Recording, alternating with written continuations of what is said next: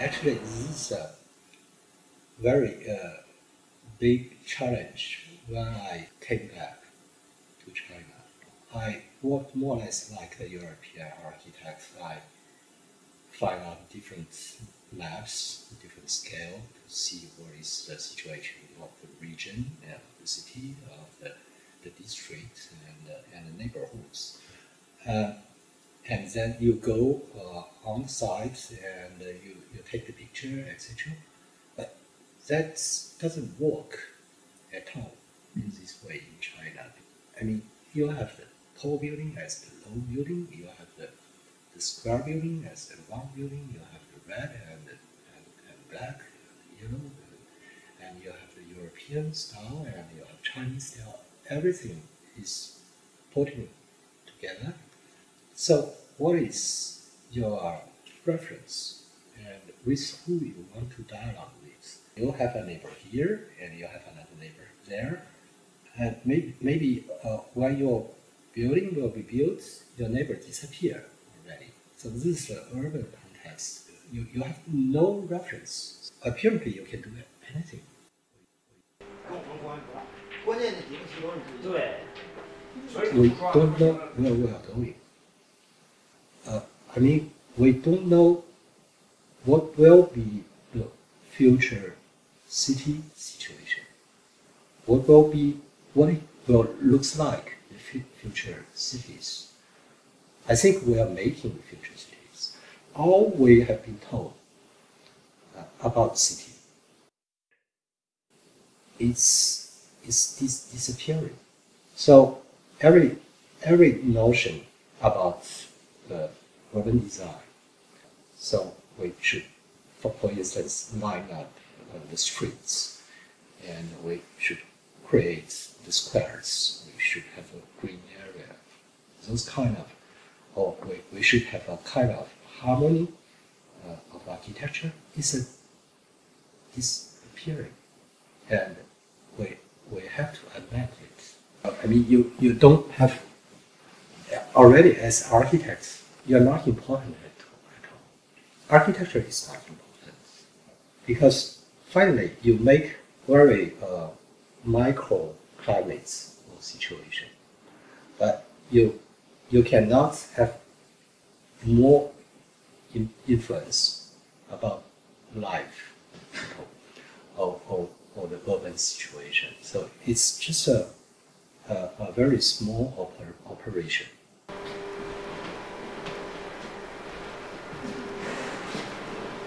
But the big difference or big difference between between uh, Asian people and uh, and European or Western people is I think we are much less uh, conservative. Everybody is expecting something new and different. Uh, so in, in that way, we don't have the same expectation about our future or about our, our, our life. Uh, another maybe basic or uh, fundamental uh, difference between Chinese and uh, or Asian uh, and, and Western people uh, of their mind is this kind of permanence of materiality. We think it's normal that the architecture will be damaged by the time. But actually, in, in your, your country, from Rome uh, time, you put a kind of uh, permanence concept on architecture for temple or for everything. And here we built it just for a very short human life period. And it can be disappear, uh, disappear or it can be replaced. And so in Europe, you cannot admire something is replaced. It's just not possible. But here, everything, every material stuff is permanently replaced by something similar. Uh, so, what is permanent for Chinese people is spirit. It's not material.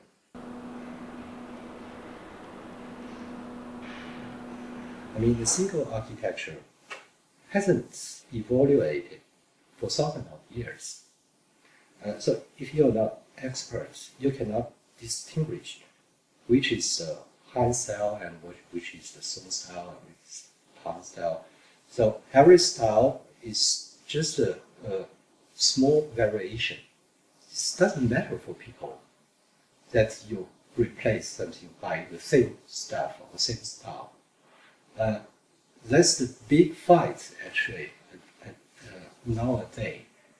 Uh, big fight of the copyrights, the intellectual rights, because actually the Western people is attacks Chinese people uh, making a copy very well. Uh, but that is what we have done for thousand and thousand years time. So we copy the same architecture uh, for the generation and generations. And we copied the war uh, of the Confucius uh, from, from very early age. Uh, you are treated to know what is uh, taught to you by your ancestor. So if you are working on another way, uh, it is wrong. And you are copying, it is right. Western people cannot cannot understand why finally we are destroying huge of ancient architecture and replacing by the new architecture who looks like exactly of the old style or old ancient style. But that is the way that the, the Chinese people working for generations and generations.